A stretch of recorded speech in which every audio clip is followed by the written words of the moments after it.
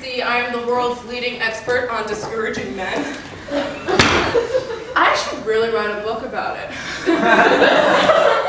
Girls, are you constantly tired by the clawing attentions of the male sex?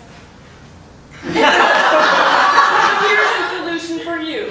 Just get Ruth Sherwood's bestseller, 100 Easy Ways to Lose a Man.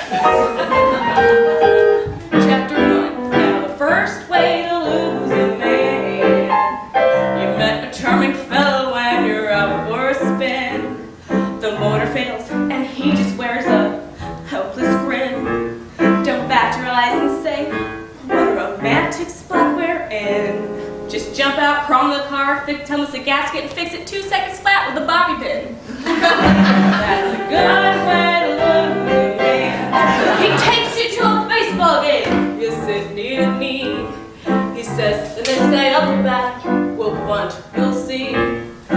Say, ooh, what's up, fine? This game's too hard for little me. Just say, bunt?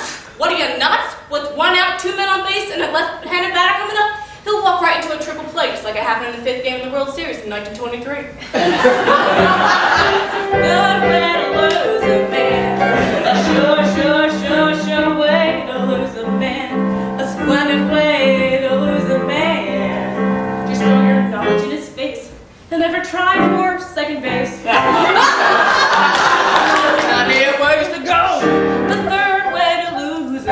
The lifeguard at the beach that all the girlies adore. Swims bravely out to save you through the ocean's roar. Don't say, oh thanks, I would have drowned. And just one second more. Just push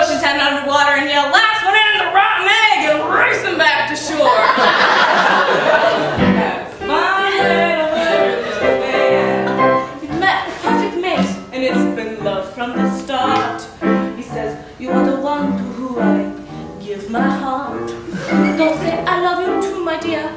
Let's never, never part. Just say, I'm afraid you made a grammatical error. it is not to who I give my heart, it's to whom I. See, the preposition to, who becomes the indirect object, making the word whom imperative, which I can easily show you by drawing a very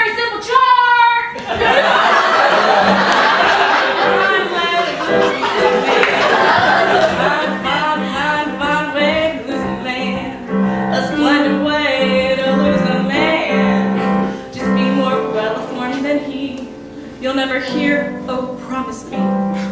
to show him where his grammar earns. And mark your towels, hers and hers. That's girls, you two can lose your man